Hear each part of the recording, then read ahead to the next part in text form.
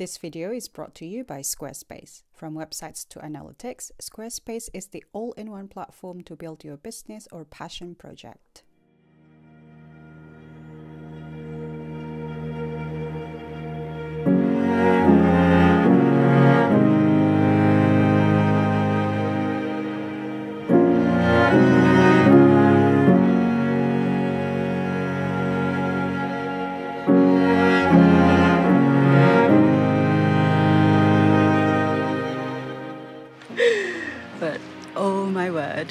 Isn't this fantastic?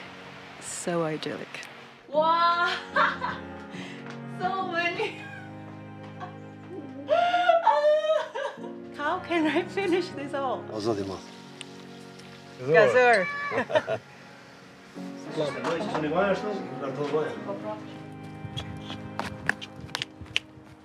And the view is fantastic with a beautiful horse.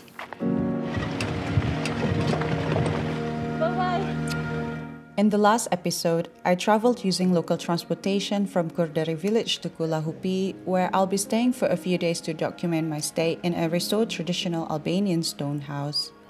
I have paid to stay for a few nights here to learn about the story behind this restoration project and why the owner is running this guest house business. Hello, good morning. Welcome to Lepurak village. So I am currently staying in a stone house, uh, which has been recently renovated into a traditional guest house. I just arrived yesterday afternoon and have just been trying to settle in, make my feel, make make myself feel comfortable, and I thought of uh, showcasing you what the traditional way of living looks like. Although this is probably more of a guest house experience.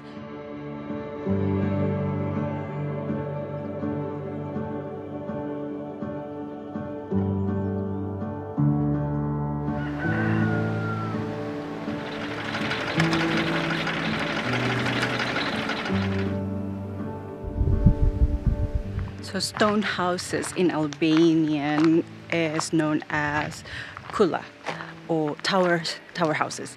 And basically is a stone house that resembles a fortress that was built during the Ottoman Empire throughout the Balkans. And generally you can find them scattered around northern Albania in the mountainous villages. And uh, yeah some of the remainings that still exist are beyond repair and abandoned. So the word kule is believed to be derived from the word, the Arabic word, which means castle, and the limestone as the material for these stone houses uh, are believed to be sourced from limestone mountains. The stone houses were not easy to build and was were not cheap, basically, and it became the symbol of power and affluence.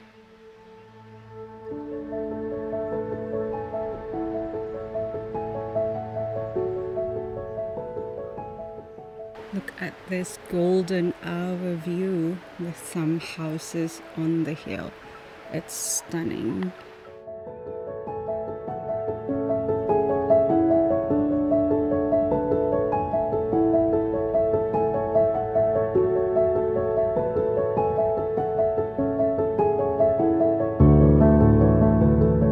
Që du me ardhë me tu, me zbrit të poshtë. Si do. Então, você viu? muito Então, dois So Lul, the owner of Kulla Hupi, usually works with surrounding villages and uh, different households within this particular area to sort of produce homemade uh, rakia or homemade alcohol, homemade pickles, homemade dry teas, or even like compote like this, which are traditionally fruit drinks for the guests to enjoy. Hi everybody, I'm Lulzim. I am here with uh, Ibrahim. Ibrahim is my friend and uh, my uncle of my wife. And we work together. He has a lot of beautiful place, lot of beautiful views and bio product. If you come here, he gives you all time bio product. Sa më ka shu, s'ka kur gjë s'ka. A, sa të damë jetë ati. Edhe me esë në mesë të poshë. Shikojmë ish me lagë në zemë. We're drinking raki. Homemade. Gzor, gzor. How, what do you say? Gzor Jeremy. Gazur. Zur. Gazur. Gazur. Gazur. Gazur. Gazur. Gazur. Plum raki. He do um, the best raki in this village. In this village. Yes, So yes. how long has he made that for? Yeah, it's actually nice. Show it. I think uh, more What, than uh, 30 years. 30 years. Yes. Yeah, that's He learned from his father yeah. and uh, yeah, it's generation by generation. 30 years. Tell him that that's when I was born. So he just started. Uh, Kur ka fillu me zira ki thot un kum le. Ja, ja, po. Ja. Ma sigurisht. Ja. in Albania and generally in the Balkans, people are used to having fresh produce uh, because of the abundance of resources. And at the same time, because of the hot weather, it's more of like Mediterranean climate. Generally, people also drink uh, yogurt. This reminds me of iron in Iran. There's also a similar drink in Turkey. Although at the same time, rakia during the day is also quite nice. It's usually made out of plums, grapes, and anything that they harvest. Po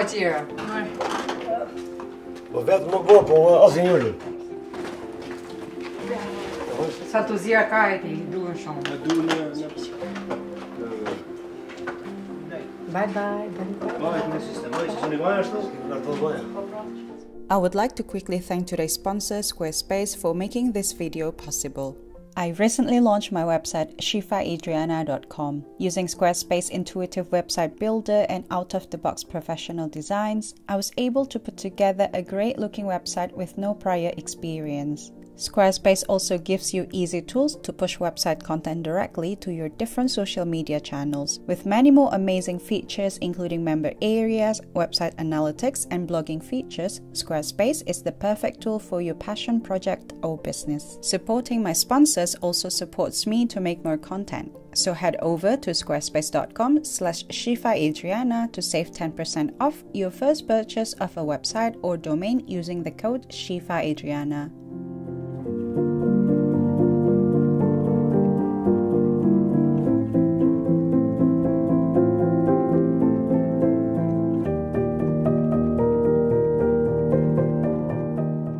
Good afternoon. So it's close quarter to four, and we are in a car actually heading to I don't know where, but we're possibly yeah to a farm. I'm here with Liana. She's traveling with her family from Malta, and uh, we're possibly going to experience horse riding. I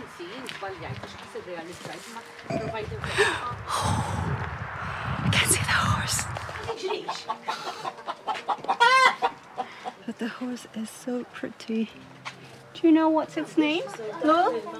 No? Shaman. Shaman. Name? No speaking. No. Ubed. Ubed. Ubed and Shamar.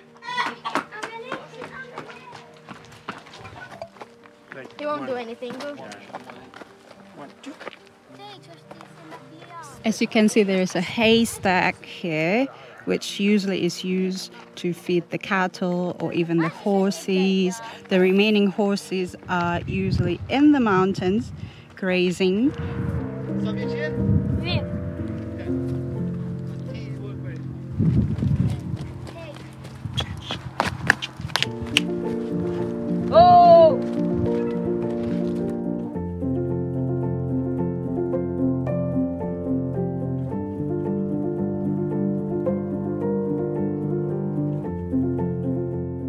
So this is Noor.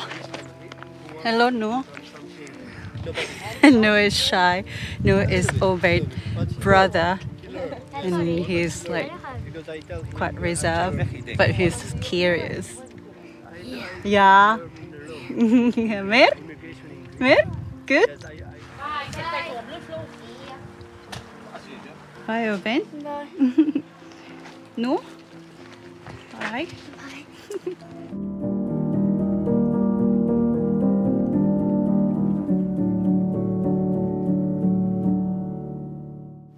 As well as supporting local families by giving them the opportunity to provide experiences and food to travelers at the guest house, he also employs his mother, Mama Sofia.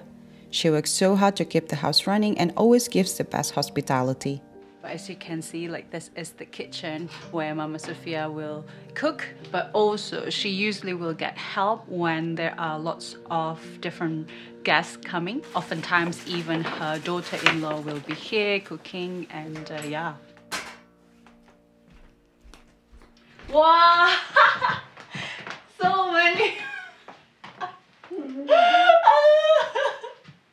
yeah, one person. This is so Perfect. I was told yesterday by a fellow guest here, he said that in Albania, as long as they've got bread, salt and heart, everything will be fine. So it reflects the importance of life simplicity but also hospitality. And i think mama sofia has this sense of duty of serving the guests to her best ability. She will not stop moving. She's 71 years old yet she really likes moving cooking and uh, i think she feels very happy and gained a tremendous satisfaction from doing this i'm helping mama uh, peeling off the beans.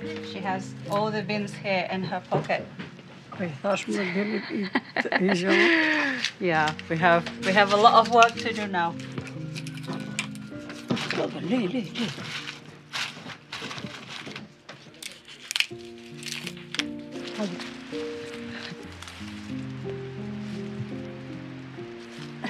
I am here trying to be a useful human being, being a basket for all the fruits that Mama is picking and um, probably preparing for the guests.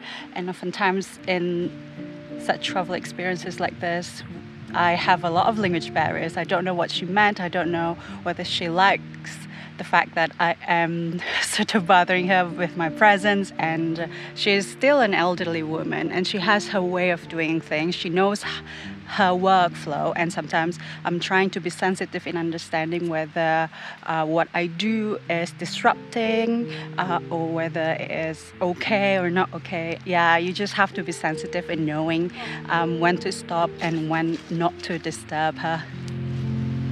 Oh,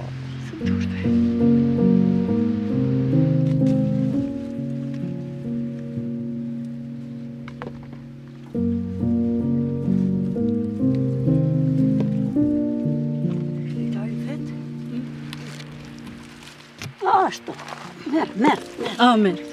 Domatos. Domate. Domati. Domate. fresh cucumber from Mama. Mama. Mamma Sofia. Yeah, carrying this for Mama.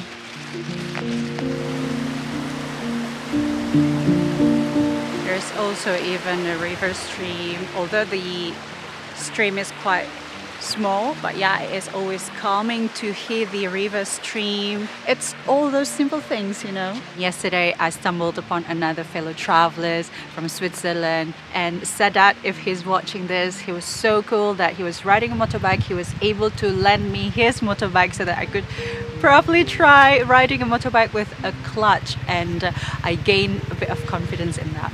But I suppose because this place is not within the tourist hotspot, the major tourist uh, destinations, it is nice to meet other fellow travelers who are curious enough to stay in you know these authentic places where we get on pretty easily usually because we have the same shared of interest in uh, seeking like a bit more traditional and authentic travel experiences.